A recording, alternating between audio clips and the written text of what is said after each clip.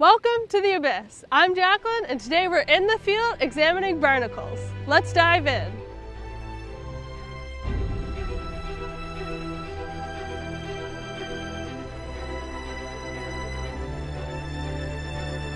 Barnacles are in the class Cirripedia. They're a large group that comprises over 12,000 species. While they can be found at many different depths, most barnacles are found in the intertidal zone. They're sessile organisms that attach themselves to hard substrates. Mainly this means rocks, but they can attach themselves to a variety of other substrates such as garbage, the hulls of ships, and even other organisms.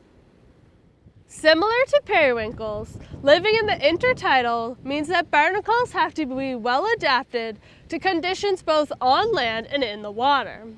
This means that when the tide is out, Barnacles have to survive desiccation or drying out, as well as the varied temperatures that come with living on land. Similar to periwinkles, barnacles have a calcareous shell that they can close up, sealing in the moisture until the tides come back in.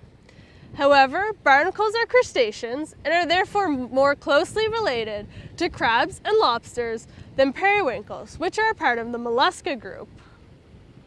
When the tide comes in and the barnacles are underwater is when they feed. The barnacles open up and extend their cirri. Cirri are specialized appendages that are covered in sensory hairs called setae. These wave through the water and capture any food particles or plankton that are then brought into the barnacle to eat. The cirri is where the class Cirripedia gets its name from. There are two main groups of barnacles, Acorn barnacles, such as these ones here, which make up the majority of barnacles. They're attached directly to the substrate. There are also goose barnacles, which have a stalk. This species here is one of the most common across the globe. Its scientific name is Semibalanus balanoides, but is also known as rock barnacles. They can be found in very dense concentrations throughout the intertidal zone, such as on this rock here.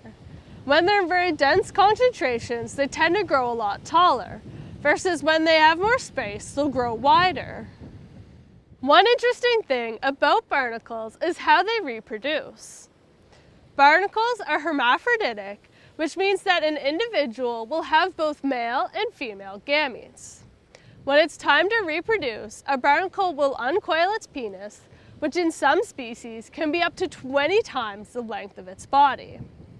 The penis will then search for another barnacle to fertilize. Once fertilized, the eggs will be released and the larvae will become part of the plankton. Each individual barnacle can release up to 10,000 larvae.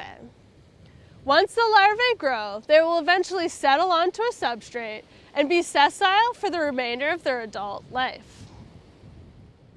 As you can see, the tide's starting to come in, so that's it for this video. Be sure to like and subscribe, and until next tide, I will see you later.